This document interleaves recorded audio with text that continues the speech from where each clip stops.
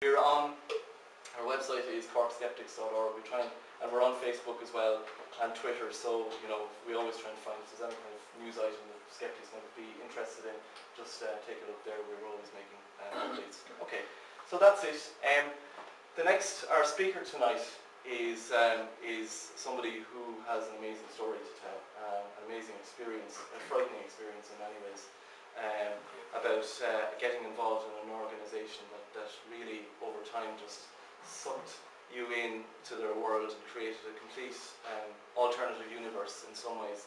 Um, that uh, uh, saw, um, saw, saw, you know, the, the kind of it's amazing in some ways that we've got we, we have organisations like that that they have so much power over people over over a long period of time. You hear an awful lot about it, and, and the organisation itself has been going through a lot of turmoil in more recent years as people have um, started to defect and started to basically get out of the organisation and tell their stories. And uh, John Duignan here um, has is one of those people who came out and, and has a real story to tell and has written a book about his experiences that I definitely encourage uh, everybody to, to, uh, to, to, read. So I won't say any more, you're probably sick of me standing up here and blathering on. Um, could you please put your hands together for John?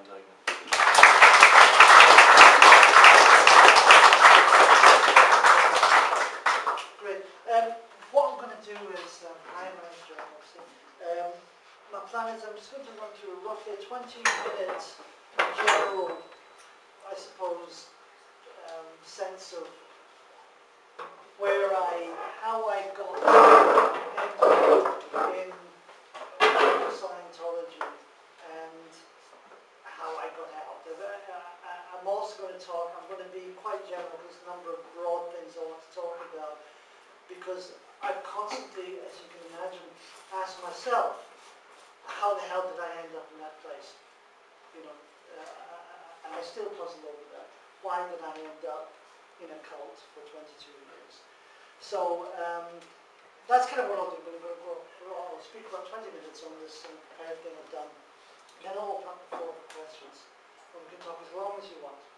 So, you know, as long as you're willing to stay, as long as you keep the place open, we'll chat away. I'm quite happy to do that. So I suppose to open up, um, I'm just going to, I've got a couple of just little pictures there that I thought might be of interest. Um, that's Dietrich Bonhoeffer, I'm sure as you know. That is um, Pope Pius, the first or second or third, whatever he was, right? Right. Um, yes, sorry, he's hanging out with that fellow called um, Adolf Hitler there. Um, just for the sake of balance and for the sake of, you know, uh, you know, I am due, due respect to all religions, so it puts uh, Muslim there as well. Um, this guy called Ron Hubbard, who I'm talking about in specific. Okay, so first of all, I must express my thanks to um, to Colin and Alan um, for inviting me here to give, um, to give this, this talk.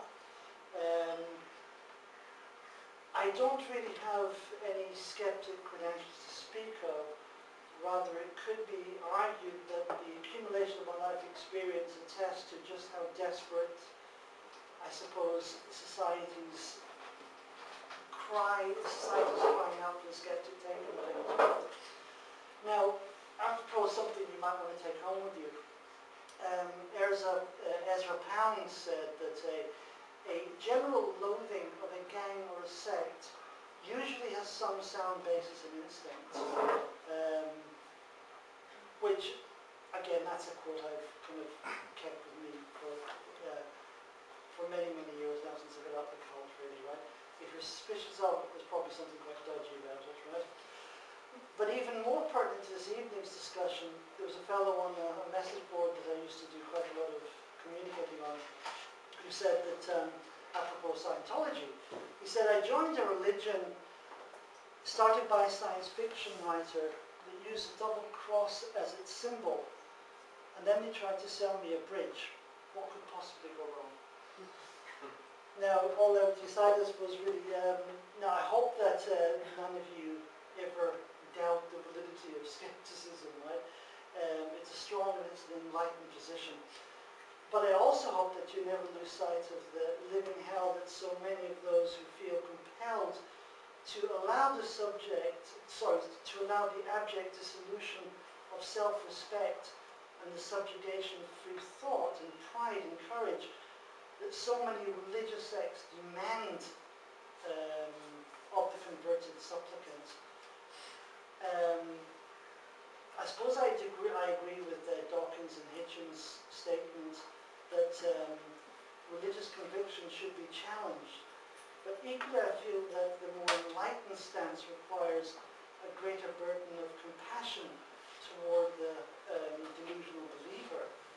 Um, I suppose I stand here and I regret the circumstances that and the conditioning that resulted in my endless, I suppose, and exhausting addiction to the ephemeral and ultimately empty promise of the all-encompassing faith in an interventionist Godhead, uh, and ultimately in a, an eternal hereafter that in whatever blissful configuration the, I suppose, unique selling point of the religious brand in question might have been trying to push on me. I suppose I was a, I think I was a religious junkie. Um, I got, probably got the same fix from the smarmy religious pushers that others might get from that kind of insulated cotton wool all-encompassing um, sense of security that the junkie might get from injecting heroin. Um, and that might sound a bit silly, but it's actually something I something I, I, I feel very strongly about. Um, it is an addiction, uh, for me anyway. Uh, maybe my circumstances in my childhood led me to being that vulnerable that I needed this kind of um, Now, I don't dismiss all people of, uh, of religious persuasion, though. Um, I don't even dismiss all theologies. I'm a great admirer of Dietrich Bonhoeffer as well, and, you know, I'll go back to him there. Um, now, his religious conviction was less that of a, I think it was more, less of a conviction, but it was more of a internalized compassion. It was a personal humanitarian imperative to face up to and tackle evil um, as it manifested in reality. Um, thus, unlike, say, the same period as Bonhoeffer, we have there's Pope Pius who made a deal with the devil, so to speak, um, as did various other religious leaders. the um, so unlike those fellows I just showed you there, he was executed, he was executed just before the war's end really, um, because of what he believed and because of I suppose it was that internalized humanitarianism really that, that sort of that, that, that allowed him to um, um, yeah, the, the, I suppose it kind of allowed him to um, that expression of, of faith really. Um, now I can't help thinking though that um, he merely filtered his humanity and his moral imperatives through the complex and the devitalizing matrix of his Lutheran faith. But maybe that is just my, my own prejudice coming into play. Now, if you give me, I beg your patience here now, I, I'm working from, um, from the general toward the specific, okay, so I, I, I will eventually get to the story in question, right? Um, now, recently some evangelical Christians were up to save me recently, right? Now, they used an argument that centered on the fact that there are apparently millions of levels of perception, sound perception, light perception, that, can, that we cannot pick up. Um, and I suppose the idea that they were trying to put across to me there was that, you know, that God and his opposing binary Satan existed in these levels of perception that are beyond our, you know, beyond our ability to hear, see, or? But I suppose um, my answer to that, not at that point, obviously, is that kind of awful thing, you know, where after, you know, you, someone's giving you an argument, you get upset about the argument, and then you're on, this, on the landing afterwards, you go, oh God, I should have said that. I, I suppose what, what I thought about afterwards, what I should have said was that um, there are an awful lot of dimensions that I can't see. Um, one of them, of course, is the bottom of the uh, uh, of the Cayman Trench in the Caribbean Sea. Another, of course, is on the tip of Mount Everest. I, I've never been there. Um, I'm never going to be in those places. Um, but that doesn't affect me. You know, there might be life forms up there. There might be, you know, I don't know, little microbes and little animals or whatever else up there. But they don't affect me, and they don't care about me. I don't care about them. They, you know, they exist, right? Um, I, I don't necessarily believe in them. They don't necessarily believe in me. Um, I suppose I live in this world now, and this is the thing that, that, that I, I want to get across to religious people. Um, my previous fanatical religious experiences tried to get me to look into the unknowable other dimensions. And as in the Scientology case, despite their duplicitous claims, they tried to get me to live anywhere but in the present. Um, once you look into Scientology a little bit, you'll find that Scientology says that the humankind is hypnotized. This is one of the key things that they try and sell you. That humankind isn't existing in the present. He's stuck in somewhere in the past, right? Um, but what happens in Scientology is that they actually take you out of the present. They, they, they, they, stick you in some kind of neurotic anxiety, I suppose, really, about, about your spiritual and mental condition. That's, again, it's, it's a little bit complicated to explain, but that is what they do. So you're, you're in this endless anxiety about your existence here on this earth and your um, relationship to humankind. Things you take for granted all of a sudden are kind of undermined and brought into question. Um, and it's not very healthy. Um, so I lived that for 22 years, and at 45 years of age, I had all the qualifications of a secondary school dropout. Um, I had an awful lot of experiences that I could do nothing with. I had to eat, I had to house myself. There was no God, or no gods did not come and intervene to help me at that point. What did help me, I suppose, really was intervention of, I suppose, science-based, peer-tested psychology, sociology, and language. Um, I had a chaotic childhood. I grew up in a severely economically, educationally, and socially deprived, yet very deeply religious family. It was an utterly dysfunctional experience. Um, answers to problems were sought in God and prayer. Now we were we were Catholics. We were very extreme Catholics actually. That was that was the upbringing. Um, but my uh, my father happened to be later on. He was diagnosed as well post post his death. He was diagnosed as bipolar. Um, the, the, he, was constantly up and down. You couldn't you could never trust what he was going to say or do next. He could be this wonderful father, full of fun, taking the kids out, and the next could be a complete monster. Um, so that was a little bit destabilizing for a child growing up. Um, now he took his own life. Um, I was I was about maybe I think I was 10 years old when he took his own life. Um, he left behind him a wife and six kids, completely destitute actually we were more destitute than we already were. Now, six months later, my mother died. Um, now, I have since looking at it, I believe she, she took her own life. This is one of the great problems of Catholicism, I'm afraid, is that Catholicism refuses to admit, you know, one of the members committed suicide because obviously that means they won't go to heaven. My brothers to this day, some of them will not accept my father killed himself, and yet it's blatantly obvious. In the case of my mother, it's a little bit more nuanced. And yet I'm quite certain she did kill herself. I just don't think she had any energy to go on. Um, so I spent then the next three, three decades of my life, I suppose, really um, in an abject and terribly destructive search for healing. Um, I searched through Catholicism. I searched through uh, evangelical fundamental Christianity. I searched through Mormonism. I searched through the Bhagwan Sri uh, Ganeshan, Ken Ganesh, you met them in Germany, and ultimately through Scientology.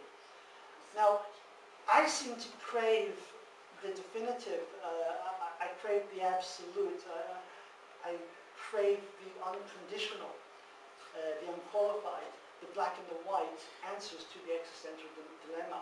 This, I looking for someone to tell me, essentially. Now, religion was the obvious solution, since it had laid waste to my childhood. The obvious answer was that I simply was not trying hard enough, so I had to try harder. Um, 30 years later, I suppose of um, 30 years of, I suppose, really ignorance ensued actually as a result of that. Really. I suppose the penny dropped in 2006 just after discovering a the fantastic contract that Hubbard had played on me. Let me just show you something. So there's this picture of Hubbard. Now these are the, um, we're, we're a cult, I don't know, presumably everybody's read something about cults, right? Cults are desperately controlled, manipulative environments, okay? I know there's some arguments about the definition, but, but that is what they are. We are shown this, images like this of this brilliant L. Ron Hubbard, this, you know, this, this fantastic philosopher and humanitarian. There he is again in Fitzroy Street in London, know, this again, wonderfully posed pictures. Now, I suppose a, a more healthy, skeptical person would say, okay, well that's very, very close pictures, but to us, as culty, type people, people who are susceptible to cultic manipulation, you know, we somehow granted these images much more force than they actually, you know, uh.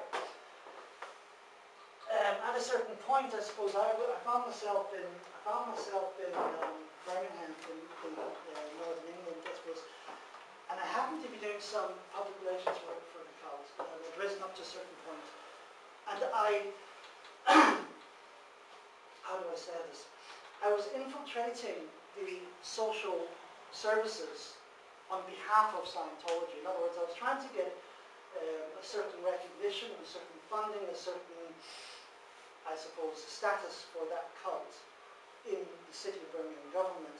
Um, when Prescott was uh, the Home Secretary, um, he was, um, he decided to sort of, if you like, use voluntary organisations. So he started to fund voluntary organisations and give them certain, you know, inputs and so on. And formalised it under a body called the VEC, um, Voluntary Something Committee. Um, and I,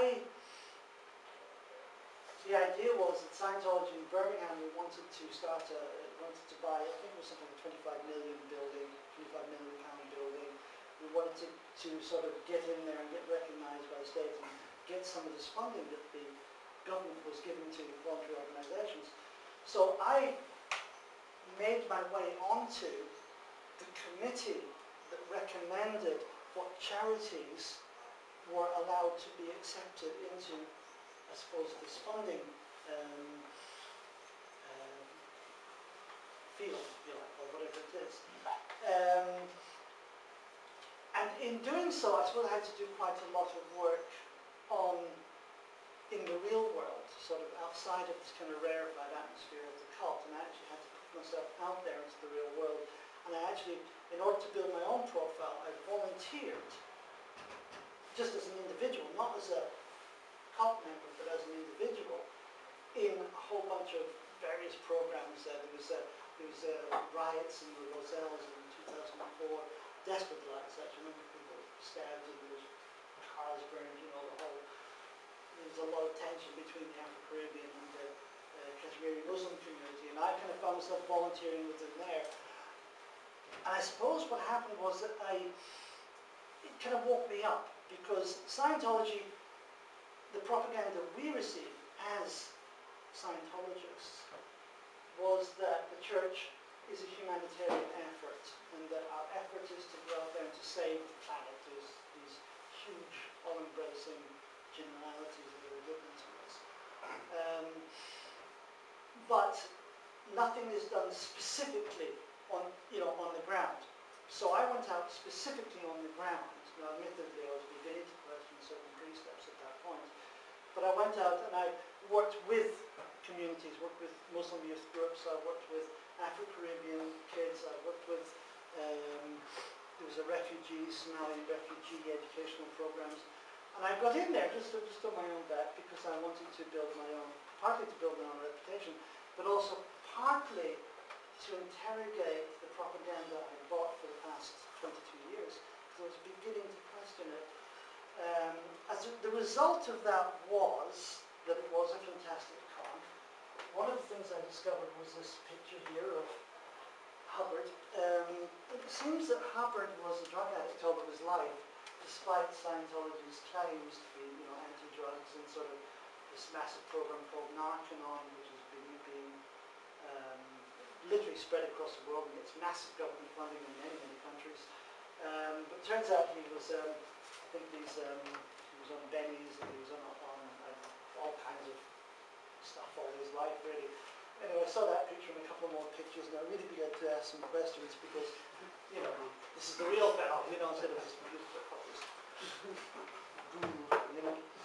Um, well, I suppose that um, uh, I finally, there's a very specific piece of, I suppose, it's the Scientology theology, if you like, uh, if you like, and it has to do with the fact that the reality of, how, of who we are upon this earth. And I suppose, to simplify that, we are um, 75 trillion years ago. There was a galactic overlord, who still exists apparently, called Xenu. And Xenu um, decided that he wanted, I don't know, I forget what he wanted, he wanted to tax this galactic confederacy, this confederacy of several planets, right? It's all very believable, I know. but, um, part of this, what he wanted to tax them, and he wanted to reduce its population. So what he ended up doing, he began, everybody had to, all people from these uh, planets had to go along to various centers, and they had to register and pay a tax or something like that. But they were zapped at that point, and they were, the, the, the, their bodies were killed, and their beings themselves, in other words, Scientology is, is a dualist um, out, has a dualist outlook. So there's a spirit and there is a physical body, and it separates these completely. So the body is sort of rattling around, sorry, the spirit is rattling around inside or outside or around the body or something like that. So Xenu had um, worked out this technology for getting the spirit itself, called Theta, and putting it into ice cubes and somehow dry freezing them or something. And then they were, curiously enough, this was written in the 1960s, early 60s, um, they were placed in spaceships that were identical to the then, I think it's a DC-8 airliner. But it didn't use standard, you know, um, you know, props. It used some other jet system or whatever. But this was the design that the, these galactic overlords chose for their spaceships. Um, and flew them from all over the galaxy to planet Earth and dumped these ice cubes into volcanoes. And he named the volcanoes, I think included Las Palmas, so there were someone, some in uh, Hawaii and some in, oh God, where else? Anyway, he named a, couple, a whole bunch of them? But this is a very, this is a piece of sacred theology, you see. Um, and then, oh yes, and then they were bombed. And then, so the ice cubes broke up and the spirits escaped into the atmosphere, but then were grabbed into a interrogation kind of a system that they'd set up, and they were implanted with certain images and certain messages. Uh, and these messages included um, Islam and the belief in Islam, Christianity and the belief in Christianity, and various other stuff like that. All of these things that keep them prisoners. And then they were scattered across the earth, and they attached these spirits attached them to the human bodies of primitive man that was running around. And that is the creation story, really, of humankind from. Ron Hubbard's, um, obviously completely stoned out of his head.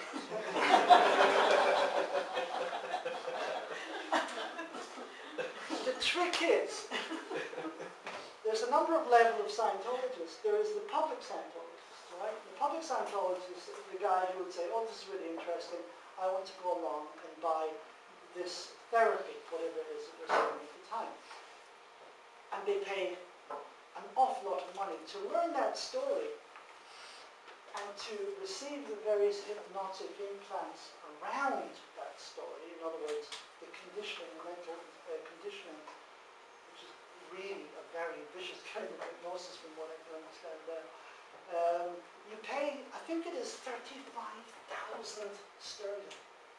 That's more or less what you pay to receive that level, to become um, what's called an OT3.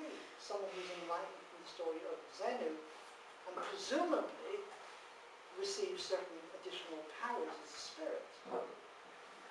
If that doesn't work, well actually no, you have to keep going beyond that. Then you have to, there's various levels of this revelation all the way up to what's called OT8 currently.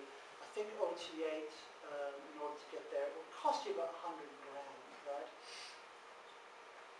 But, you know, there's obviously something quite powerful and quite impactful going on there, right? That someone would, you know, you'd sell your house, you'd, um, you know, your children's money for university, you'd give it all to Church of Scientology because you want to receive this level. You want to have this revelation. Um, and people do it, you know, and, and uh, you know, Scientology only called, called playing that trick. I think it's just that their story is a little bit more bizarre actually than, than, than other cults maybe. Maybe that's what it is. The other level is then you have a level of staff member, that's the guys who work in the various Scientology organizations who deliver this Scientology, right? Who, you know, I suppose Scientology is uh, what's called a counseling process or an auditing process, right? Where you sit down one-on-one with a trained counselor with this uh, with the, uh, e-meter you probably saw on the poster, this little lie detector machine basically hooked up to that. And this is supposed to detect the voices of these body vapors, essentially. It's essentially what it does, right? Um, and there is the Sea Org member. Now the Sea Org member is a person who commits himself to one billion years service to Elvin Good job, security. um, so obviously it's not this body, this body's going to die after 70 years, so next time you pick up a body, that body, you take your body back to the Sea Organization. Okay?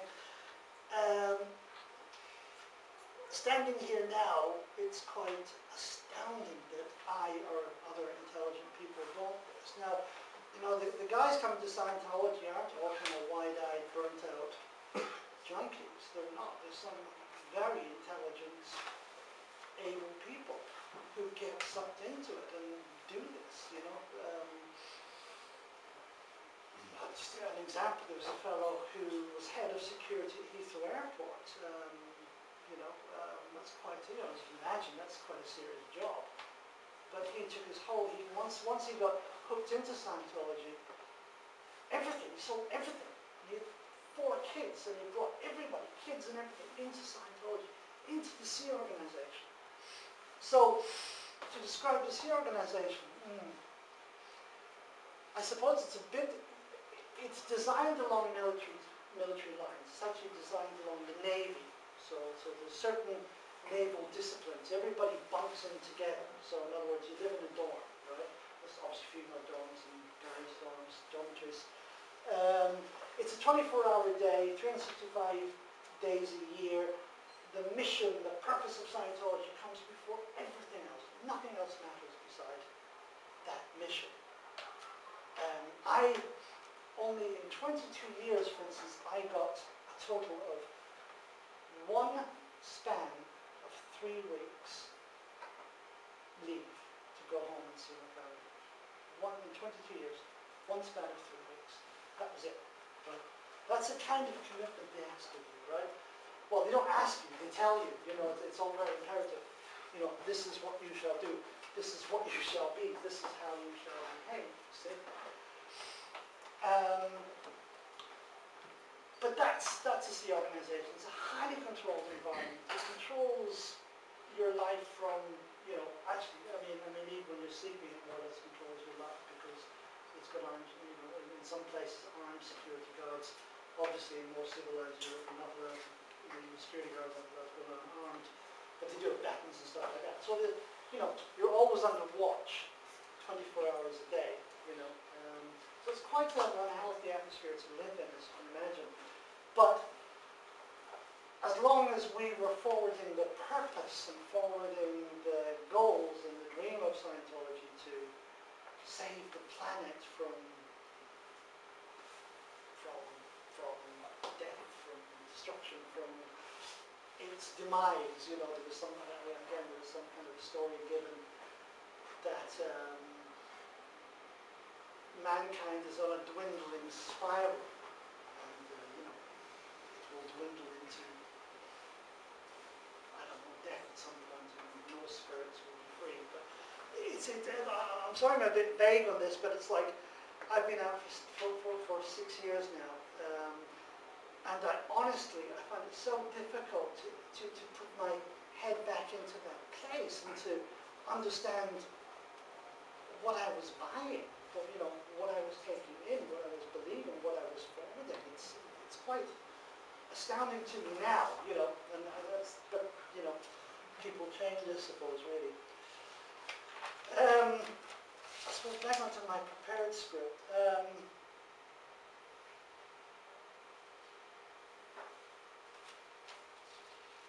yeah, that's. Uh, yeah, I, s- uh, I think I probably leave the rest of that. Was um, the, the, the, thing that happens uh, after I began to realize that what I was forwarding was dangerous. In other words, I've been working with, uh, with, these Somalian refugee kids and I was teaching them English, I was teaching them how to use computers and um, they love football and they straight away they got into the whole football thing. Um, this project, by the way, was supported by, um, by Aston Villa Football Club. Um, that's the only reason I'm a supporter of Aston Villa. But, uh, um, it was great actually because they set up a little room and they funded it and all we had to do was to turn up and it was, you know, it was very, it was, it was a very fine project. Um, and then kids who weren't making it to school were sent along to us and then, you know, I, I'd volunteer there maybe two, two evenings a week and, um, and then I'd be over at the Newtown Community Centre with the after school club and we do work with, again, little kids who'd be coming in after school, the mothers who are still working and, you know, there's various family problems and, you know, uh, and I suppose what began to dawn on me was that this is the real world, you know, this is nothing to do with Lord Xenu and the spaceships and the volcanoes.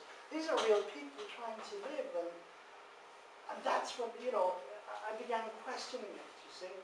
Now as far as Scientology was concerned, I was a fairly senior exec in the UK um, doing a mission that would result in this desperate longing for recognition, really, for official recognition of Church Scientology in the UK.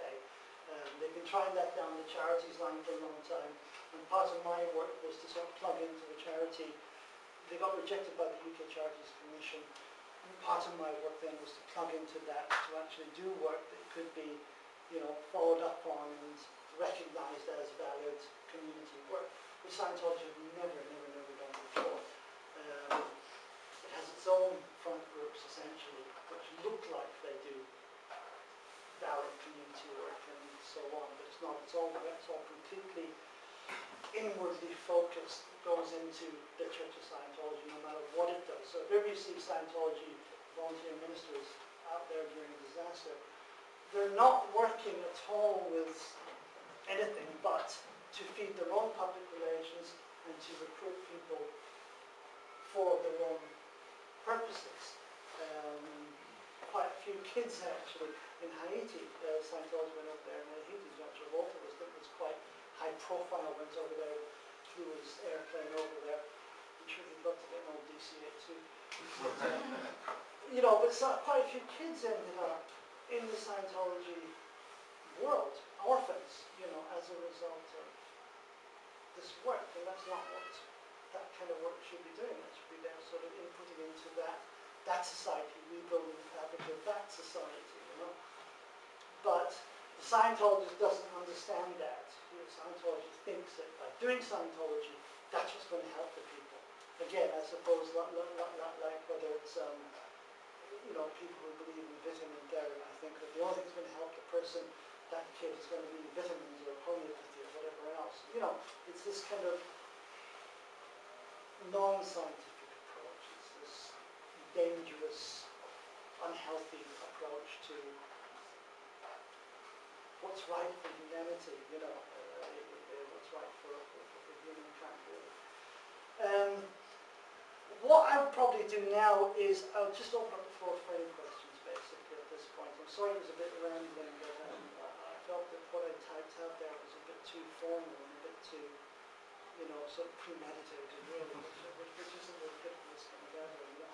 So look, if there's any questions about it, ask me anything. I'm completely open. I wrote a book about it. So, you know, have you had any um, problems with Scientology subsequently? Have they tried to uh, harass you in any way? Well, interesting, no, uh, they, they- did initially. Um, what, what, when I did that book, um, we put the book up on Amazon, the publisher was Manor Publications.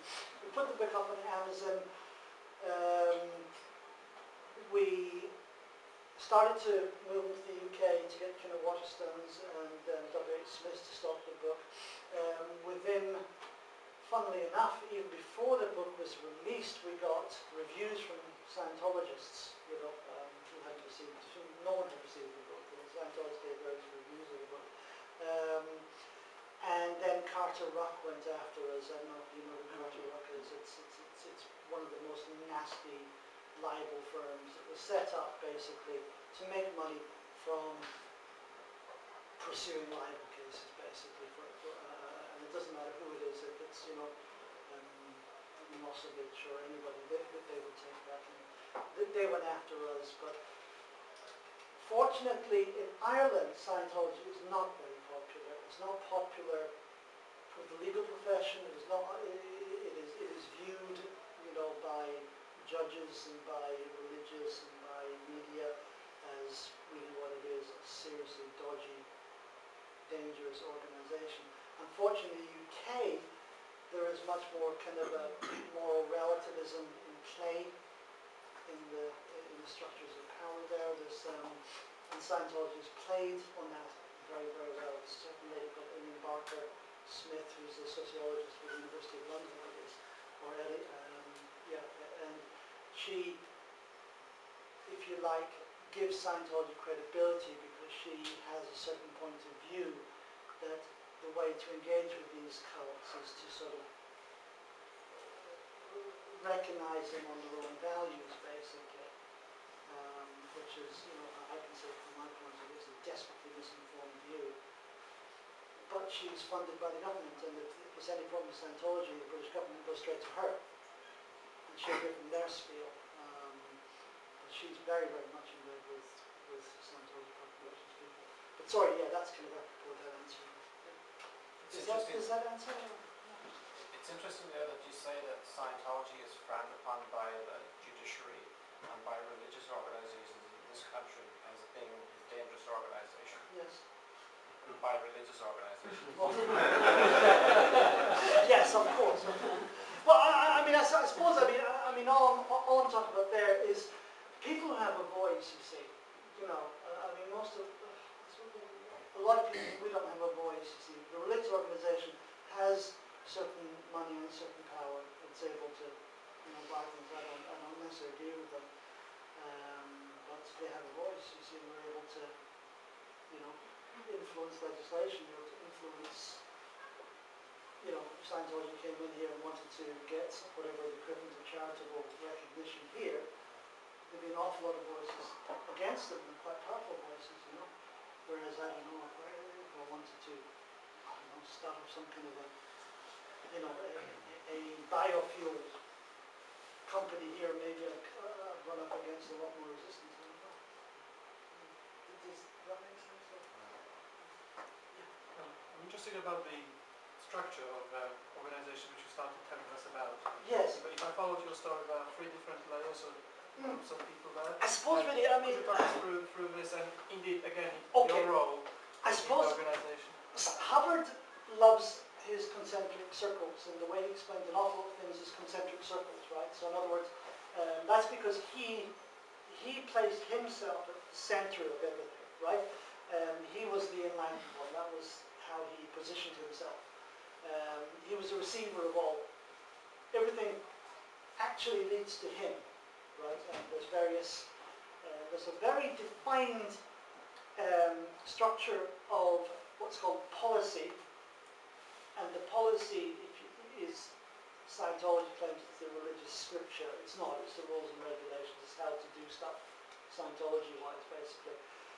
Um, so the core of it then, you could say it was Hubbard, and, and in this day and age there's, uh, there's another um, uh, chairman of the board, a guy called David Miscavige, um, who learned everything he knows from L. Ron Hubbard. He was just a, he was born into Scientology basically. Um, quite a damaged, damaged individual, he really is. Um, so from, from and, and then surrounding him is an organisation, a body called RTC, which is the highest ecclesiastical power in Scientology. Surrounding that, then there's, um, and that is based in a, in, in a, a location that's secret to Scientologists and to other Sea Org members. So that was the, the, the elite organisation. I was part of the Sea organisation. Um, it's secret to them, but it seems everybody else knows exactly where it is on Google Maps now. For us, it was you know, if you're going to be recruited to go what's called uplines, you know, to, to, to go to the secret base, you know, everybody was like, oh my gosh, wow, how you've been touched by the hand of God or something like that. Um, and there's, there is, I suppose, really the centre of power.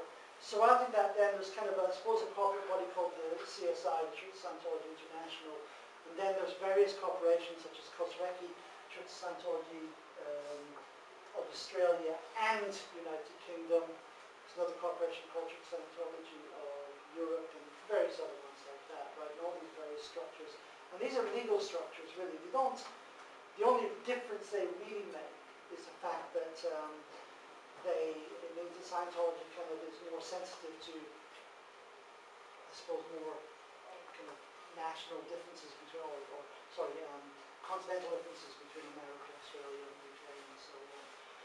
Um, everybody, any person who has any power in Scientology is a member of a Sea organization. That's, um, unfortunately, I, I should have thought about it, but um, Sea organization, we, like, like, like I said, people who signed a billion year contract, um, and we are structured in kind of a naval fashion.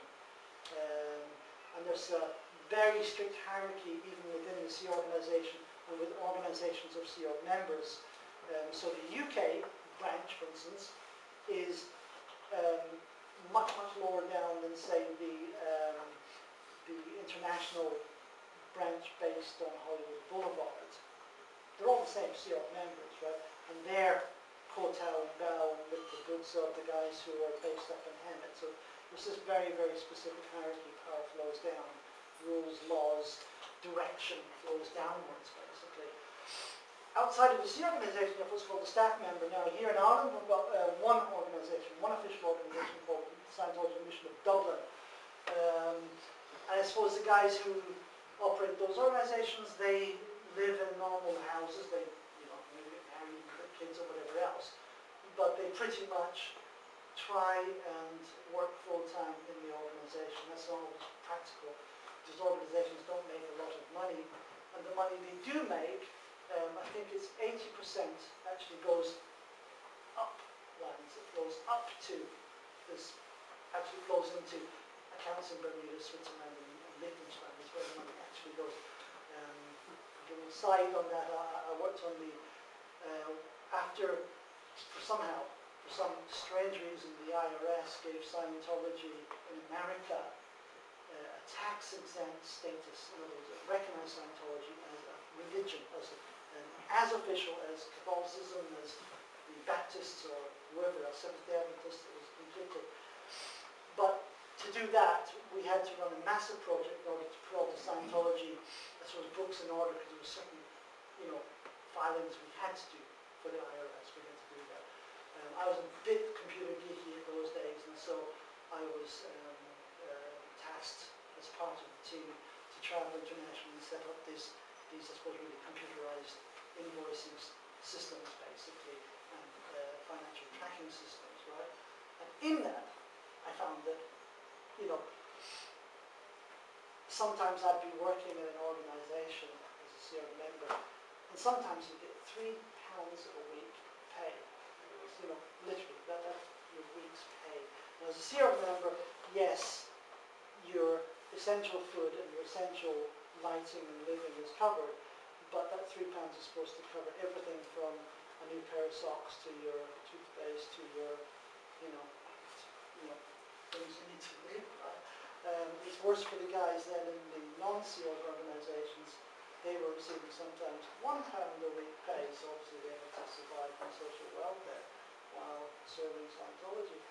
Um, but I did see that so, like, like 25 grand might come into an organisation, and of that, 5 grand would stay within the organisation there.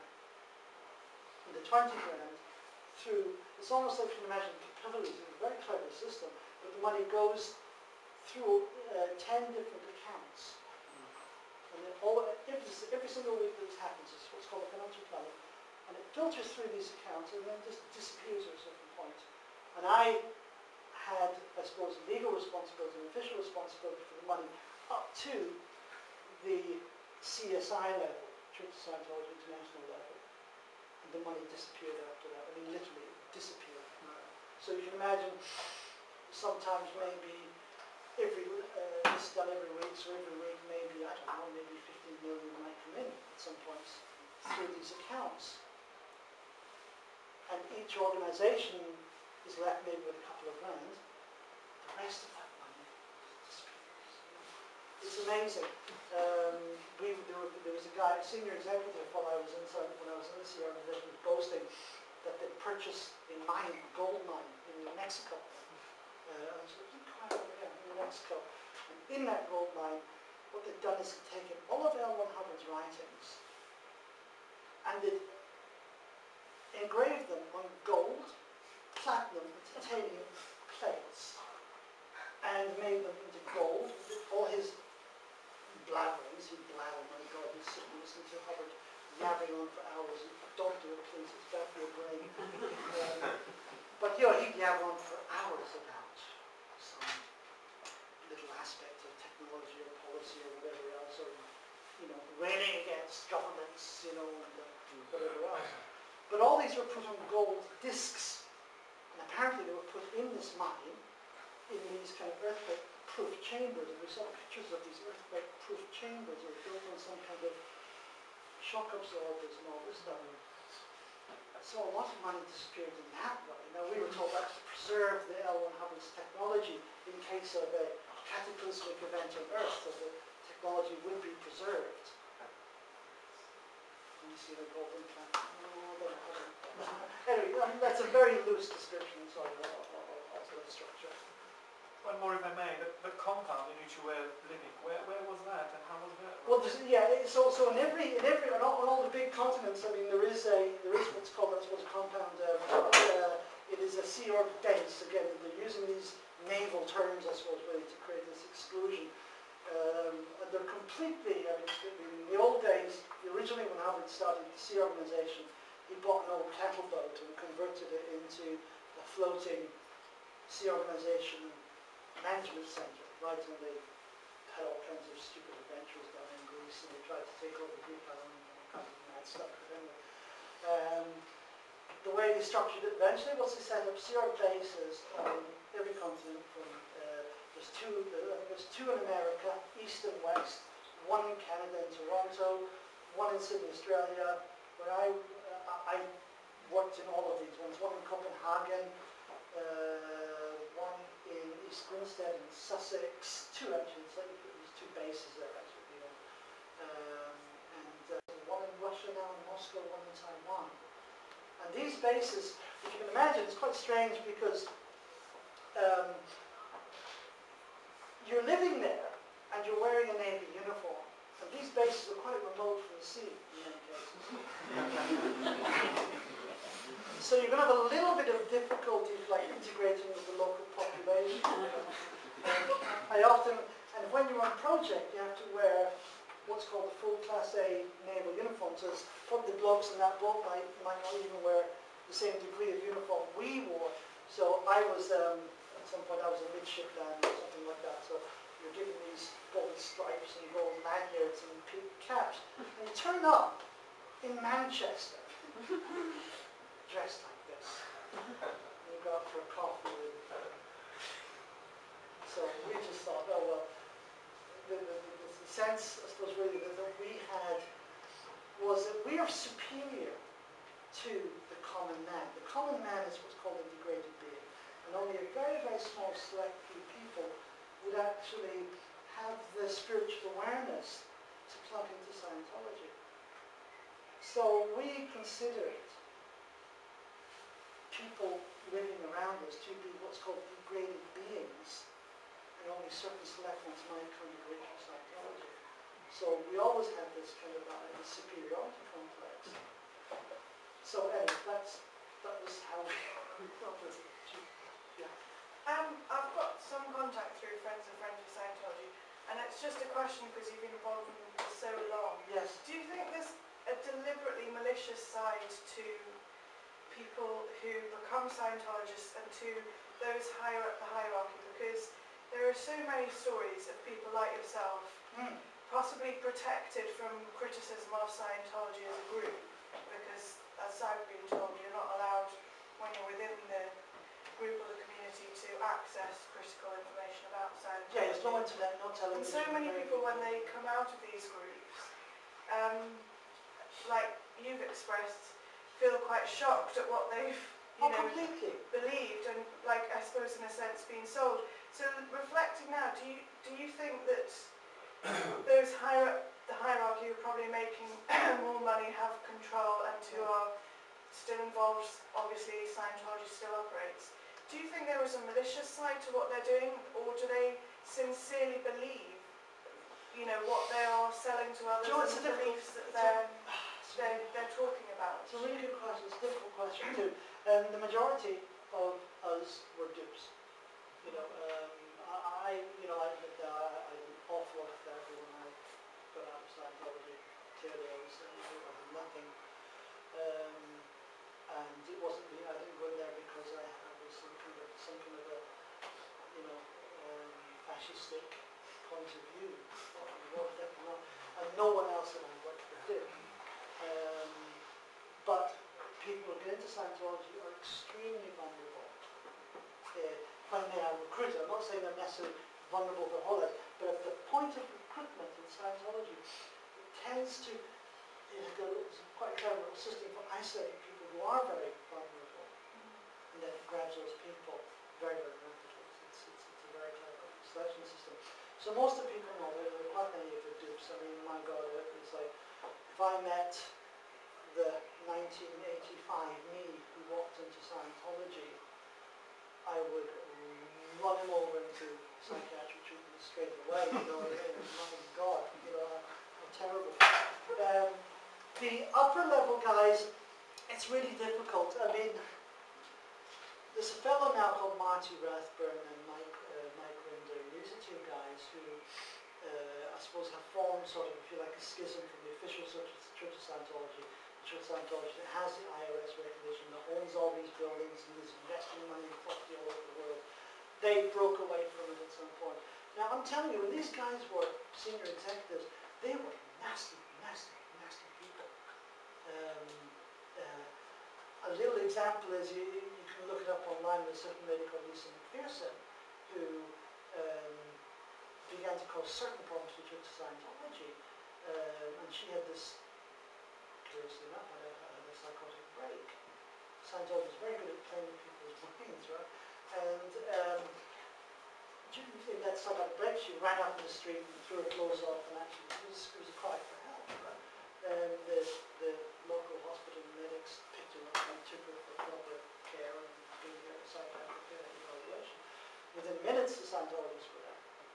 And they said, sorry, no, um, she, she, she has agreed that only Scientology will treat her mental problems. And they somehow got her back into the, that was Fort Harrison Hotel.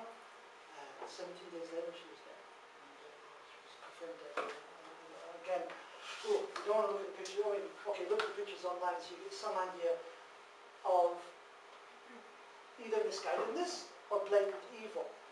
In so, and, and I certainly believe that some people are completely misguided because I've done incredibly insane things on behalf of the Church of Scientology. Um, but I was misguided. But someone died after 17 days in a complete psychotic state, you know, and she's covered in conflict, like she's emaciated, she's dehydrated. Was there any inquest into it? Huh? Was there any kind of inquest into it where Scientology held to account for any part of this? Um, Scientology initially was, but this is what I'm saying. This fellow Marty Rathbun and Mike Rinder, they ran this campaign. The, the, the doctor who was testifying, who actually treated, initially treated Lisa, um, for some reason, all of a sudden dropped the case. She was intimidated. She was threatened. You know, this is, you know, it sounds wild. It sounds like the worst mafia story you can hear, but that's what happened. I think David Miscavige was an extremely damaged, dangerous, psychotic individual. Uh, I genuinely believe he's a sociopath. Absolutely. The, the structure of Scientology is structured by L. Ron Hubbard. L. Ron Hubbard my book was a sociopath. I absolutely believe he was. Because the policy creates sociopaths. You know, and it's hard to describe why, but if you consider a belief system that says that everybody who's not in Scientology is a degraded being.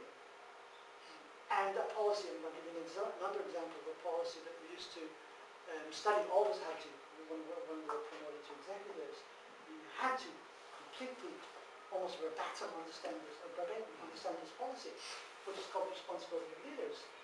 And in that policy, Hubbard lauds a certain South, I don't it's a myth, but it's a certain South American uh, dictator who, in order to clean up the lepers in the city, put them all on barges, promised them that they're going to this wonderful island, and took the barges out and blew them up in the middle of the river. Now, this was taught to us as good, as a right thing to do. So you can imagine, you know, you go in there it's very open, whatever, you know, I was into Babylon originally, you know, it's all hippie, eh, and then you're buying into that kind of philosophy. It creates something, it creates, creates some kind of sociopath, that's all I can say. So just to follow up, so presumably situations like that, I mean, I'm not a doctor, but I started training in medicine, Yes. and, you know, there are lots of accounts, not just of Scientology, but cultish groups like this. I mean, there is such things, truth and lies and right and wrong, Yes. and if you're talking about someone whose life potentially could have been saved with the appropriate treatment and she's passed away, I mean, is there not a case for not just an inquest, but criminal prosecution over situations No, like I that? mean, that's standard. And why, why are these people, I mean, could right-thinking people would at that point think this is going too far, presumably. Mm-hmm. So why are these people who may be in this community and organisation and initially misguided, and then seeing people defensive of situations to that extreme, which are clearly dangerous, you know, why, I think it just puzzles me that people are more concerned about Scientology and how it operates. Oh, look, Because I- of the I- I've anybody who's out of Scientology receives it. I mean, within the, within the organisation, the information you receive is, is utterly controlled. Um, There, there- there is, there is certain confidential things that you do not know. If there's any negative story in the press, you are not allowed to buy the papers. Papers are picked up straight away. If anyone's got a newspaper, you're not even allowed oh. God no. You're actually very rarely, it's very difficult to hold of newspapers. If there's anything on television, uh, actually the Sea Org are not allowed to have televisions. No one Sea, no one in the Sea Org is allowed to have television. Um, radio is yes, but um, you know, you, obviously when you're working, you work most of the day, you work from 8 o'clock in the morning to about maybe 12 o'clock 1 o'clock in the morning basically. That's your working day basically. Not a lot of time to sit around and listen to the radio, you know. Um, internet apps, verboten, forget it. There's a thing that they, we, we, we set up, I, I work with some of the guys and we set up what's called an intranet. In other words, so, so there's one feed to the internet and that's in Los Angeles. And then everything else, you know, into whatever they want you to receive, you know, on your message system, your intranet message. So I mean, it's very, it's very controlled in that respect. I don't know how, I, I don't know how I would have reacted, it's an interesting question. How would have I re- reacted as a Sea Org member, a full-blown Sea Org member, if I had come across a Lisa McPherson case, which I remember from before? I hate to admit it, I, I really, I'm desperately ashamed to admit it, I would have brushed it off. I would have thought she was a demon. She was, I'm sorry, not a degraded being, this kind of, Oh, right. this lower life form. I hate to say that, but my gosh, I, I think I would have, based on stuff that I did, based on stuff that I was, you know, encouraged. Is it true that um, John, John Travolta's son who died at a very young age was refused medication because um, Scientology refused to recognise that type of treatment? Yeah, look, I mean, I mean, obviously I wasn't there. The- the- This, this, this 2000 2008, wasn't it? Jett's died, wasn't it? Yeah, Jett, yeah. Um, autistic. Scientology does not admit these kind of um, congenital conditions. It, it doesn't admit it. It says that any problem, because Scientology believes, right, that the, the, the brain is the brain is nothing. The brain is just a series of circuits, relay points. That's that's what Hubbard teaches in Scientology bias, obviously, right? Um, so autism and conditions like that wouldn't be recognised, you see. But the child is obviously, you know, I mean, from the get-go, he was obviously a severely damaged child. Scientology is anti-psychiatry. Um, the, paint, the pictures we were painted of psychiatry, again, it's a bit of a control mechanism for the person within the fold of Scientology, that the evil world outside is controlled by these evil psychiatrists who are going to electric shock you and lobotomize you. That's what they're going to do, you know. Again, we buy that because that's kind of the atmosphere you live in. Um, so rather than allowing any enlightenment from a psychiatric point of view, um, they decided that they would use certain vitamin therapies. So uh, at some point, I, I- as far as I understand the story, at some point he had been prescribed some kind of an anti-epileptic, I think he had epileptic seizures as well. Something like that, but then the Scientology guide said to him, said to Travolta, you're not allowed to do that, you're not allowed to use that, so he went back into vitamin therapy. He's still a Scientologist. Travolta, good question, I mean, my God, this, from the National Enquirer, he's in a lot of trouble at the moment. so- Uh, you know, he's not explicit about it. Kelly Preston, I, I did read that Kelly Preston, his wife, uh, his, his, his kind of his stepford wife, kind of said that um, she's leaving him. Um, uh, John is uh, John Travolta. I'm sorry, I've met gay people, and uh, he's gay.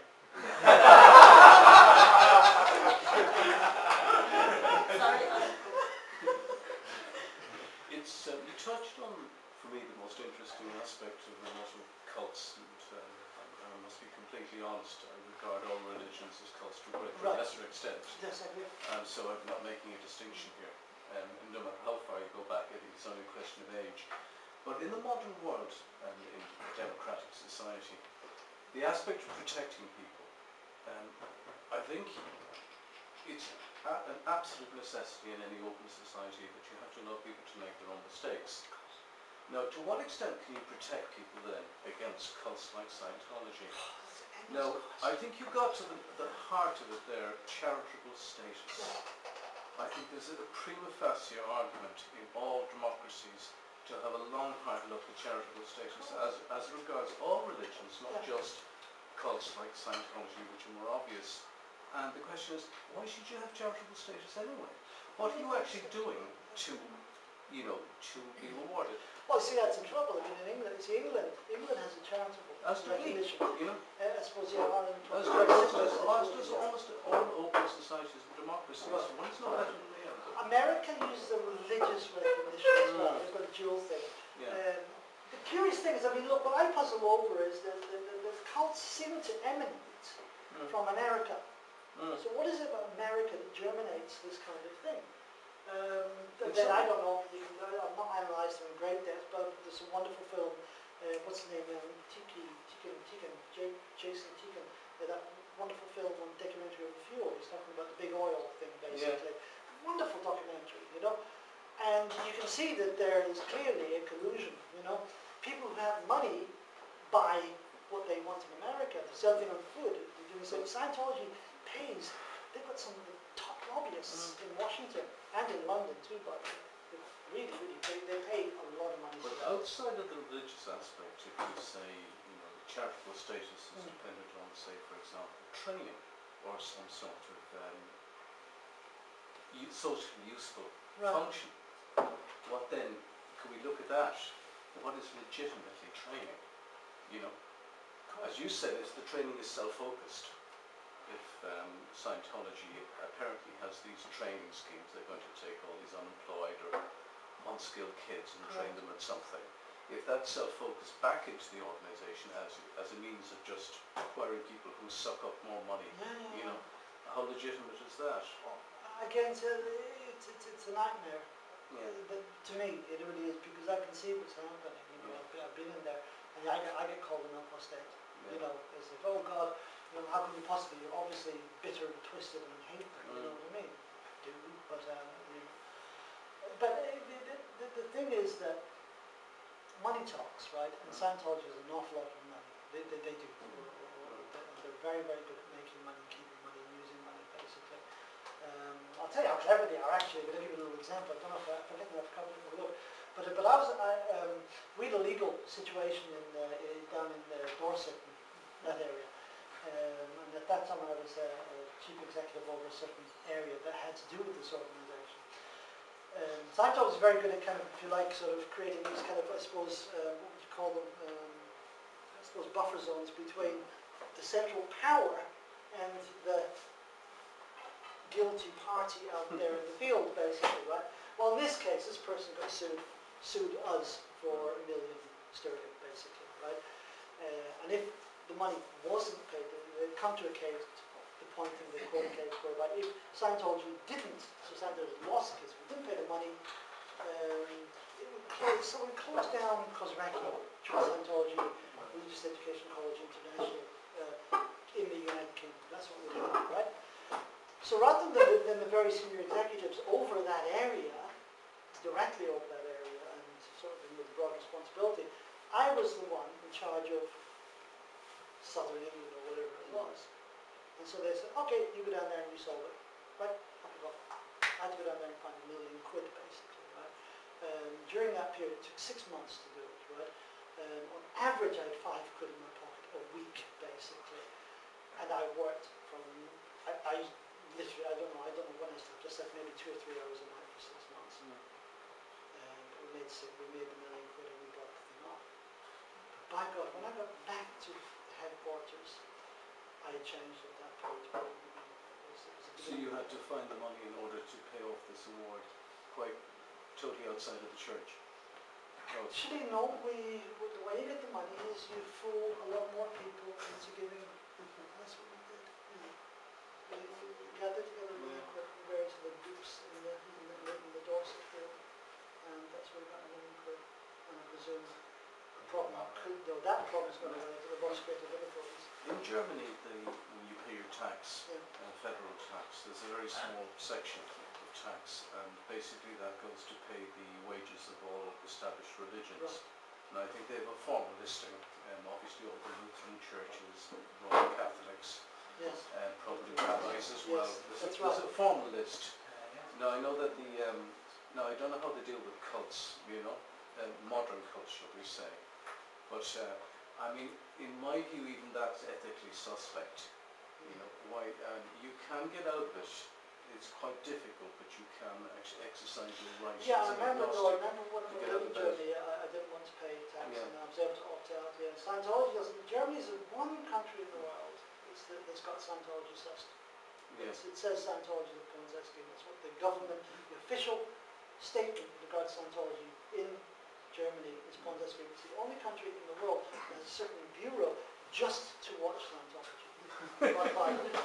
So they're very, very, very smart, but um, um, the curious thing is that there was a number of um, there was a number of high, very high profile cases going on in Germany against Scientology, um, and Clinton was lobbied, and uh, the U.S. State Department and the U.S. whatever the foreign people who are the foreign was went to Germany and they complained to the, call at that time that they back off from Scientology.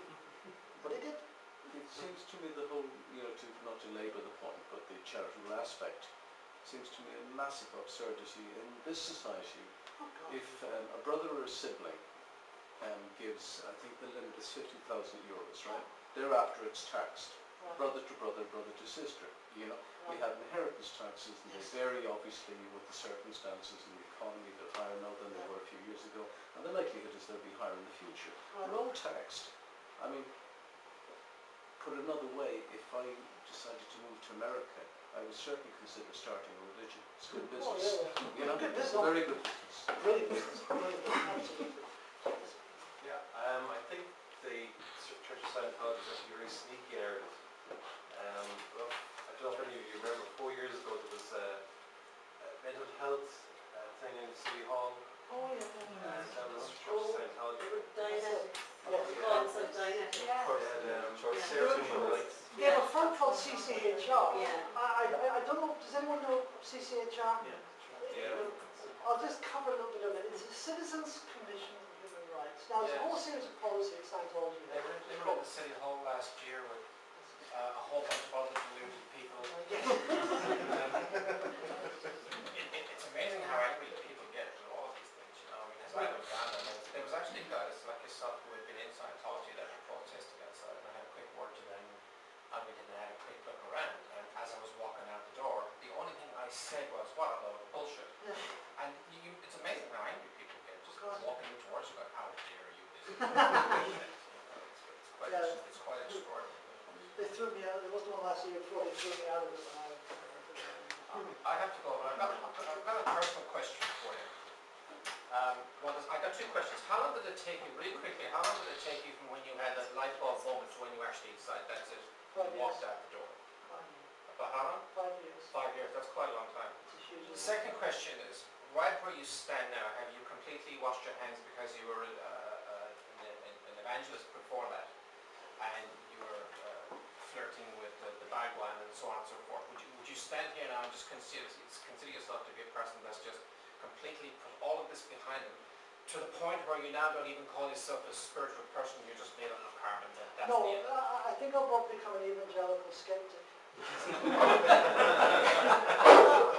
So you still, uh, No, no, sorry, sorry, look, I'm being a bit facetious. Look, the, the, the problem is, look, the, people who grow, I, I've done a bit of study now, got one, I must admit, despite the failings of the Irish state, and they've done a lot of stupid things, the one thing they did do, they have a mature students program, I was at the university, as a completely, desperately uneducated person, you know, I was at university, just completing my degree at this moment in time, um, and it's been fantastic. One thing I did learn an awful lot about, because I did psychology in my first year, um, was that the person who goes through the kind of fractured, broken childhood that myself and my siblings went through, the death of parents at a young age, um, with a bipolar father and uh, a mother who was completely, I don't know how to describe my poor mother, um, but, uh, you know, not, not very healthy people. Uh, you, you, you live in, you're so insecure. You don't trust society. You don't trust the world around you because this is like taken away from you all the time. And so your thinking is very black and white. It, it's, it's very, it's, you know, it- it's binary. It's, a, it's, it's the, the plus and the minus side, and it's, there's no shades of grey, and you can't deal with shades of grey. Uh, and my, my, my, my wonderful partner, who's, who's done a lot of work in the sociology field, you know, challenged me quite a lot in that, and I found it so difficult to take on the idea that I could even, at that point, grant Scientology or any religion any space at all to be Yeah, but they- considered. That's what I'm saying, because, not to be rude, you know, but to answer my question, have you left it all behind? I hope so. So you're I- not, I mean, so you're not quite there yet? well, well, I don't know, when, when you're there, you see, it's, again, it's not black and white, is it? You know, Well, it is black and white to me, because I, look, I think growing up in the sixties and growing up as, as a child, as you described, as part of the course growing up in the sixties in Yes. Ireland. Um, I, I've, I've completely left it all behind, I have no religious, and, and I grew up with the whole, you know, Oh, I see what you mean. No, no, of course. Uh, and it, to me, it's all. I- Okay, I'll, I'll tell you exactly where, I'm, where I'm trying to find out at what point you are along the line. Yeah, you okay. from the extreme, and how far, how far away are you from that one? I went from the extreme whereby I was bitterly and vociferously uh, fighting against, you know, religion, uh, you know, as I was when I was religious, you know, I was fighting against the atheists or whatever, back then this sword held high and I became this kind of eva- evangelical, anti-Christian, anti-religious person. Um, I think in the last year or so, I, I've begun to sort of, I suppose, really try to be a bit more kinder, if you like, to, to in other words, to, to, to, to, be able to see, okay, even the people who are being Scientologists, I mean, this guy was talking about Matthew Rathbun. Matthew Rathbun, he, he terrifies me, not because of him, but because of what he is doing. He took his whole Scientology training and took out of the official thing and started his own little cult of Scientology there. Now, I've got some really good friends who like him and say he's a wonderful guy. So, mm, uh, uh, uh, uh, and he's actually helped a really good friend of mine's daughter from committing suicide. He helped her to, to, to you know, get over a suicide ideation. I can't say that's bad. I think it's frightening that he would still promote Scientology technology despite everything he's been through. But despite everything he's done with Scientology, because he was very instrumental in the Lisa McPherson case, you know, in covering it up and buying off judges and whatever else he was doing. But at some point, you know, at some point, I need to stop fighting. You know, I need to stop fighting them on an emotional level and try and look at the. I, I will never forgive Scientology corporately. I'll never forgive that body. I'll never forgive Hubbard actually as the one guy got no time for whatsoever on this area.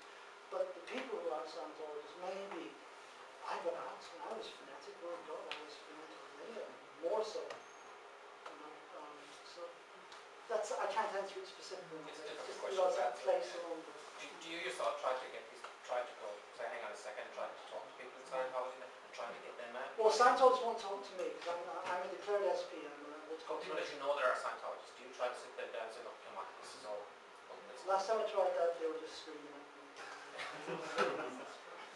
the guys who just get out who still believe in Scientology, you know, I will talk to them and I'll try and reason with them. You know, it often just turns into flame wars on. You know, it's terrible. Sorry. Um, just to talk just a little bit on um, your life previous to that, the people that I've been involved with in my work um, have been on mental health issue.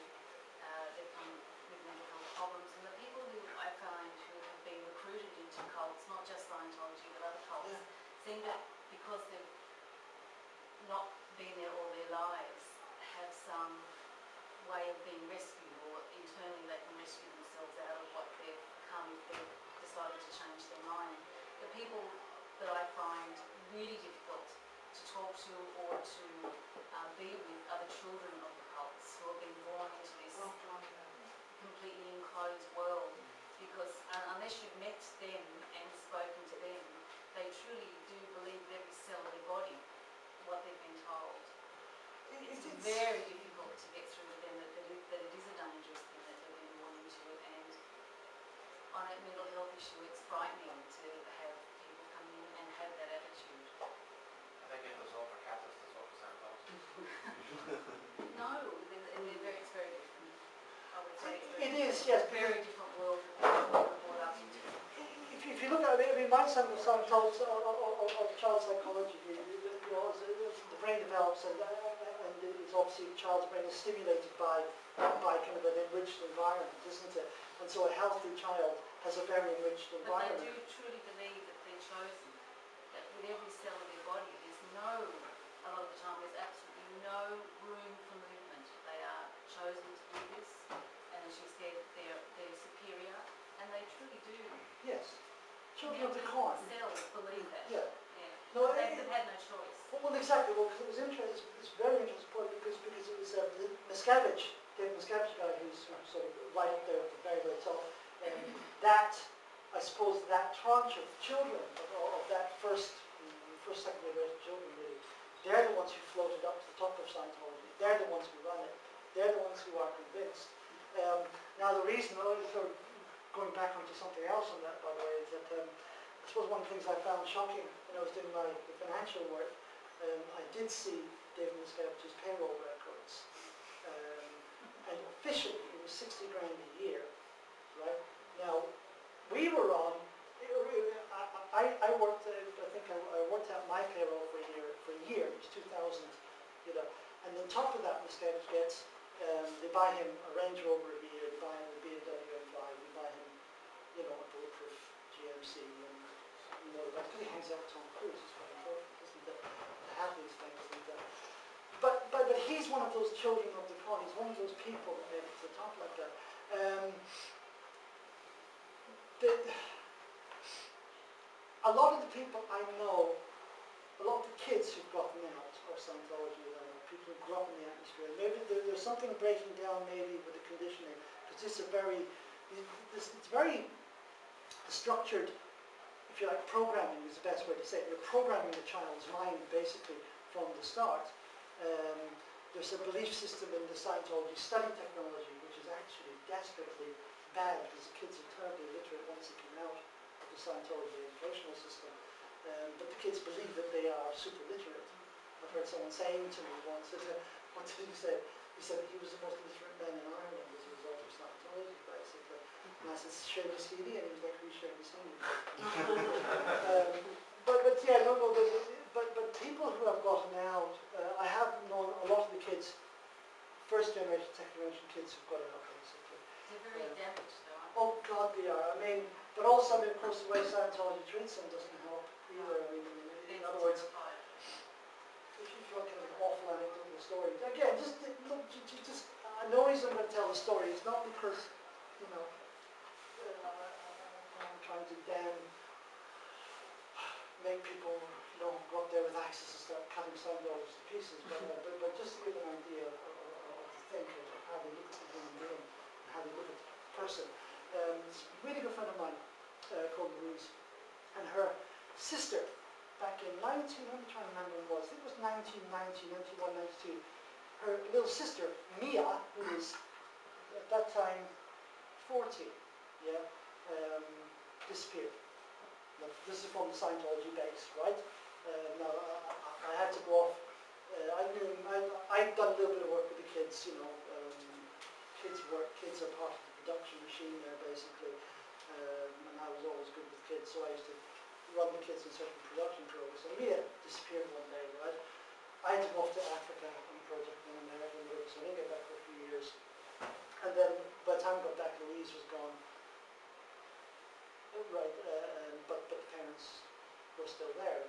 So so th- these girls were gone, but the parents were still there. The Sea Org members, right? Um, after I got out of Scientology a couple of years ago, I found Louise on Facebook, and we were this wonderful kind of get together with good friends. And I asked happened to Mia, and she gave me the whole story of Mia. Mia had been, you know, I'm sure everybody who's got kids know what a 14-year-old girl can be like. You know, they're, they're wonderful kids, but you know, they can be a bit hormones everywhere, and there's all kinds of fun going on. Well, Mia was reacting very strongly against, you know, different things that were happening within the cult, uh, because the kids had been brought in, the families were another family unit that had been recruited, and so the parents had taken the whole family, plonk into Church of Scientology, into the Sea organization, away from their friends, into this crazy, awful atmosphere. Uh, I don't want to describe it anymore. But um, Mia was causing a lot of trouble. So what they did was, they said, okay, so they took her mother, and they sat the mother down in the security office, and they took Mia, and they sat Mia down there too. And they said, Mia is a suppressive person, right? And a suppressive person is a persona non grata, is a person who cannot be salvaged, basically, essentially what it means. Um, and a person who's a troublemaker for Scientology. And they said, okay, um, Mia has to leave now, at this minute, and Paula, some others, and Paula, you can go with her and look after her and get her to school. Or, what would be better to do, because she's a suppressive person, is not destroy your Sea Org career. You carry on and we'll get rid of Mia. The mother chose that option and she carried on in the Sea Org organization. And I talked to Mia extensively afterwards, uh, just, just again a couple of years ago. And Mia was taken to the East Grinstead train station, was given 40 quid and put on the train to Melbourne. 14 year old child, and told never, ever, ever to come back. She, she survived on it, she, she prostituted herself, and went to nightclubs and picked up guys and girls and slept with them. And dealt drugs and worked for, you know, making stuff for people and all this kind of stuff, fourteen months old. So now, and she was a drug addict, you know, and, and, and Louise finally was able to get out of the whole horrible Scientology world, we rescue her and get her out of the streets and get her into some kind of rehab, you know. Uh, same happened to her sister. She was let out from the streets in Los Angeles. Children, you know, and there's awful people like that. So, because Scientology is a concept of a, it's not such thing as a child in Scientology.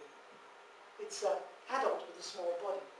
That's what Hubbard preaches. It's not such a child because it doesn't, remember, it doesn't recognize neurology. It doesn't recognize, you know, the, the, the brain. It doesn't recognize this whole, you know, scientific understanding that we have now of how the, how people grow. And so, so it's obviously a bad adult in a small body, so out, gone.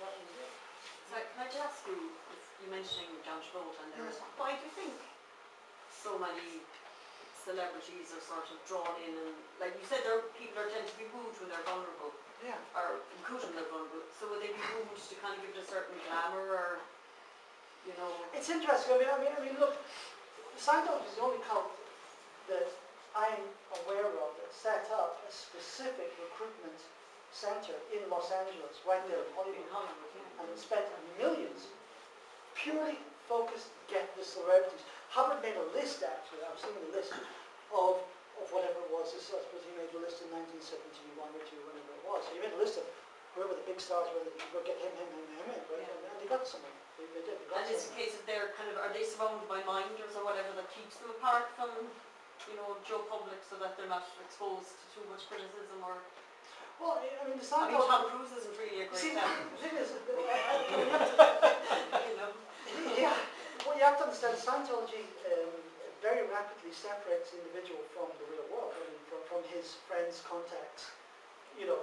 Um, and actually, the, the, process that Cruise went through was not that different to mine, you know, i- i- i- when, when, I, when I look at it. Although he was, uh, Mimi Rogers, I think, was, was Scientology, she was sent to recruit him, basically. Uh, apparently now, the, the story is... Uh, uh, Sorry, his first wife. Mimi Rogers, yeah. Mimi His Rogers' first first wife, that's Yeah. right, yeah. That's interesting. Yeah, yeah, Yeah. Scientology, Scientology. Um, the, the, uh, there's an interesting interview with Tom Cruise from just after he did, um, whatever that, what was that dancing thing that, um, huh? Yeah, Risky business? yeah, that was it. Yeah. Yeah, well, was it the first one he was Yeah, sliding in sorry, there? was that- Right, but, but that's when he became famous. I Because that's yeah. when it was involved in Mimi Rogers, so. That So was it. she, it was through her herself. Yeah, And but he was desperately vulnerable. Yes, he that's what I'm yeah. And then I mean, um, obviously, no, they wouldn't be doing grunt work. Sorry, within the organisation. I mean, what level are they kept at? Well, I mean, they're obviously given exclusive treatment. Yeah. A celebrity centre, which is very different from the other one. Um, there's an awful lot more people handling it than there is other ones. It's, it's amazing. It's quite shocking actually to think about. it. I mean, I mean, it's a complete world built around um, um, these people. Um, who's that? the one I was thinking of. Um, oh God, what's her name? Ah, well, Nancy Capron. is, uh, Take an example of that, right? It know, really hurt, know. Oh, it's awful, isn't it? When I found out she was the voice of that, she was a Scientologist, that The voice of the. Simpsons? Bart Simpson. Yeah, she is, but listen. Oh, That Simpsons. cut me deep. Yeah, This but I'm they- I they- didn't care about John Travolta. But Bart Simpson. Yeah, but really, but listen, don't worry, because she's Scientologist, but Bart is not. Oh, right. Bart of the real power. Boys! Totally. But no, no, they, they do, they really create a world around these people.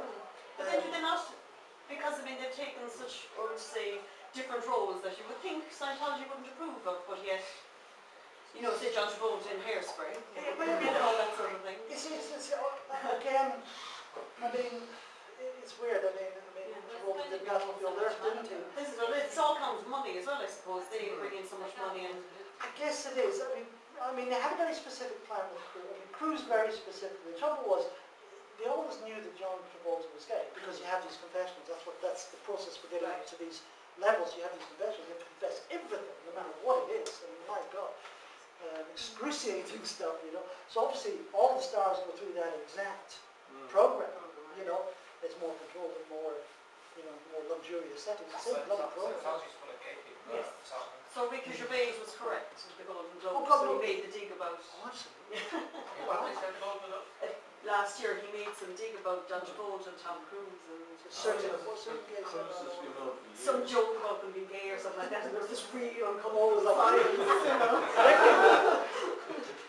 But you see, if you look at their careers, Yes. and analyse them, uh, Cruise in particular, he had an appeal, this sort of action. and All appeal. American So you have boy, this profile yes. of, you know, you know, his target sort of audience Yeah, is boys, adolescent boys up until their twenties, who are probably not going to be that comfortable yes. idolising a gay star if Right, came out. So, right, so- if you look at the, the wives, allegedly, Oh, she's like a Stepford yeah, exactly. God, the you of them, I mean, and um, Nicole. Kidman was Yeah. an aspirin, a very, very good actress, Yeah. an amazing actress, but an aspirin Australian actress. Yes, It didn't hurt her career yeah, to be attached to to this very, very big star. She And if anything, gave her a huge amount of profile, but look what she had to sacrifice. Yes, you but she know. obviously had no time. Yeah. They couldn't Katie charge Holmes her. with an arranged marriage. I know she Yeah. was recruited, It I was heard something like outrageous, he, he auditioned various actresses that would fit the profile of what they wanted in his wife.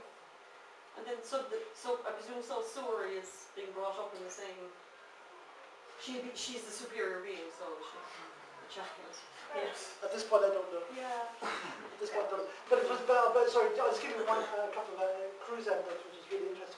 Because uh, 19 when he met Nicole, that wasn't planned, right? Uh, they were two Days of Thunder together, right? Um, she, her dad, is, her dad is a psychologist. Yeah. Hmm. That's and uh, the, the, the, the, the evil Satan as far as Scientology is concerned. But so I think they worked very hard on that relationship to destroy it. Right. Now during his relationship with Nicole Kidman, he was out of Scientology for quite a few years, and that's when he did um, a number of films. Uh, what was that film? Far away here. Far well, far away. but. Not for the yeah, Yeah, yeah. Uh, Yeah. no, what was that one? Um, oh God, the, uh, uh, uh, um, oh, I'm so stupid. name. Interview with the vampire? Huh? Top Gun? Interview with the vampire? No, no, no, that's very sexually explicit. Oh, Ice White Shot. Eyes Wide Shut, that one there, yeah, yeah. Yes. It was Kubrick, yeah, that Yeah. was it. So I, I, I- and Miscavige apparently, the, the, the, the, the, what I heard was Miscavige said, that's out ethics, again, that's a sign, that's a pejorative term in Yeah. Scientology. And that was when that whole relationship was broken up. Oh, That's what I was them together. Yeah, they got Cruise up to the uh, Hemet base, uh, which is quite a plush bits of it there. Um, and he was run up through to OT3, this level of was talking about, Xenu, and he had a mental breakdown. Um, just to give you an idea of what, what the, an awful lot of people have mental breakdowns in OT3, and these are terrible mental breakdowns. I mean, it's called, um, I, I had to look after people, because again, Scientology is dealing in, in psychiatry. So if someone has a breakdown, Yeah. they have to be separated and then completely isolated and looked after until they quote come out of it, right? I, I rot. give them a couple of reasons. I mean, it's horrible. It's, it's just, but, but, but the, the process of doing OT3 causes a lot of people to mentally break down. Funnily enough, a lot of them when they come out of it are much more dedicated Scientologists, Right. as was the case with Kind of Cruise. rebuilt them. Yeah, and that's how I experienced that myself in my early days in Scientology. We did break down, it was terrible. Right? And then I came out, and this was, this was the answer. Yeah, yeah. This is just personal interest because I am interested in medicine even though I'm not a doctor. Um, it sounds like you're very, in a very protected, kind of isolated um, community or group Correct. when you're in Scientology, even if you're not physically isolated from other people. So Mentally isolated. um, you must, I mean, people within Scientology must get unwell and have health issues like everyone else does in the whole wide world. So do you, are there kind of Scientologists, Scientology appointed doctors? Or do they, because you're saying that Scientology as a, as a whole is quite um, negative about psychiatry as Oh, discipline of medicine. So in terms of medicine, you know, asthma, heart conditions everything that Yeah. unfortunately happens to so many people, do they just reject um, normal general practitioners and physicians within hospitals and I mean, or do they have their own they tend to try to have their own doctors, yeah. really? They do, And they do, and in many cases do. In Los Angeles, it was all guy called Dr. Denk, um, complete, I don't know, weird, weird, weird guy, but anyway, Dr. Denk.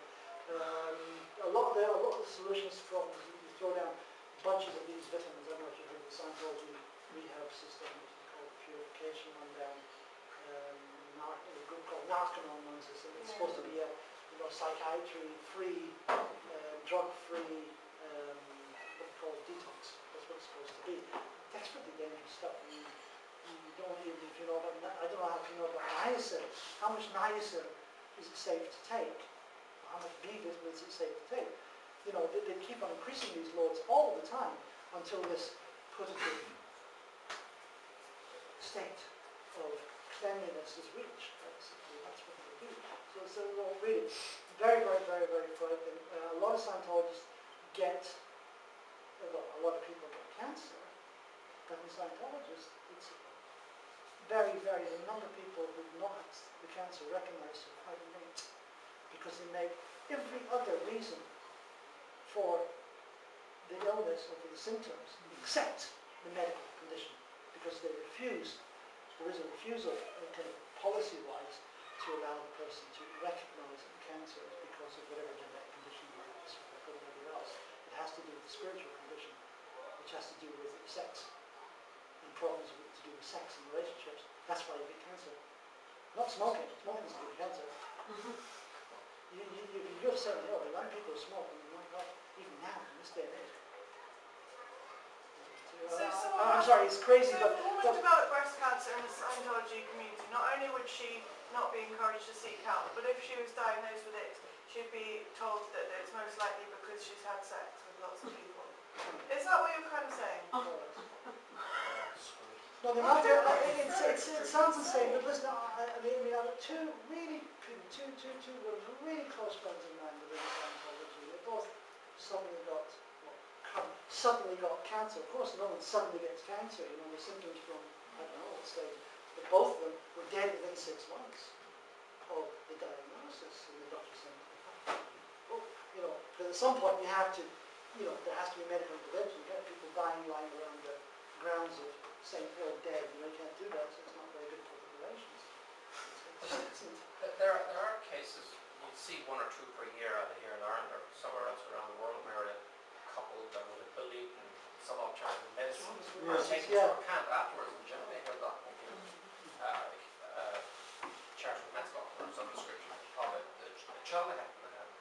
So I, and I've yet, and I've never seen any, you know, considering what you just discussed there about the cancers and all this, the other stuff that happens in Scientology, that something like this hasn't come out and exposed Scientology for what, you know, there's lots of things that are exposed in Scientology for what it really is, and they're Australian government are down the top of it in Australia, there's a ton of it. but there hasn't been a single case that I'm aware Dead of. people don't talk.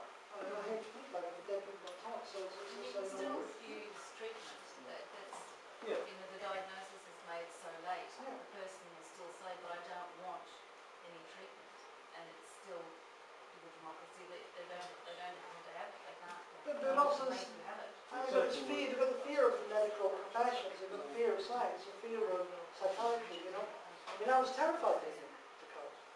I was genuinely terrified. I thought the psychiatrist made it everything. It was only because I had a little bit of evidence and work on the, on the real front, on the real world, with, with with work. But I was still scared, you know, I was scared of white people. You, you said earlier on that it took you five years to, to come out. Yes, Um, presumably there was a moment when you said, that's it, I'm out. Do you remember that? You- you what, mean what the final moment. The final moment. And Oh, what yeah. Triggered, and what triggered it? It well, it was fascinating actually. Uh, uh, again, um, the internet is your friend. That's kind I. Google is your friend. Um, I was, um, because I was running this project and for very unusual for a Sea Org member, I was working quite independently on this and, you know, because the progress I was making and they're all thrilled, you know, the international, well this is great, and whatever else. But um, there was a number of pressures. One pressure was that I was being promoted up to the um, the international place in Henry that I described as right. Um, I because I worked at that level before, did not at beta, worked at that level before, I had a fair idea of what it was like there.